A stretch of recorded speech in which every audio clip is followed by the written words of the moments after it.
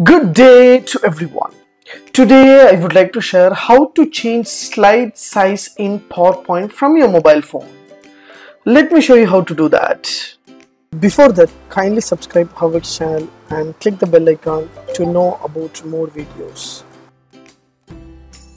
Yes, from my mobile I just opened PowerPoint application so I just want to create a blank presentation so I would like to change a different kind of slide size. What I have to do here? So just click the blank presentation or any other template you can choose according to your need and you can apply. For example I just want to create a blank template. So it will ask you for the start with a new outline or start with slides. So if you want to start with a new outline you can use otherwise start with the slides. So just say selected start with the slides.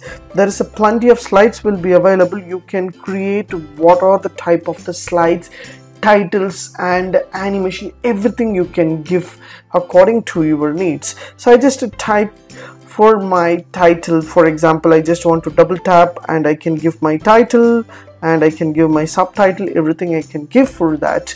So now is the time to change my slide size. So some of the people may love to have the ratio. Some of the people may love to have a wide kind of ratio. What I have to do here? So on top you will find option called the A and pencil button.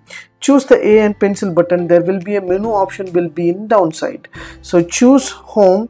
Once you click home means there will be a insert draw design will be available. Just choose the design.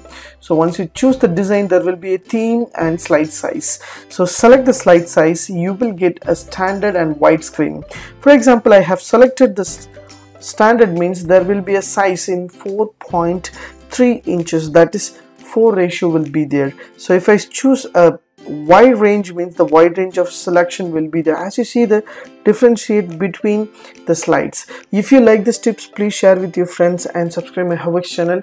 Create a presentation using your mobile phone and make a easiest way for your works and your all kind of necessary things. Thanks for watching dear friends. Have a great and good day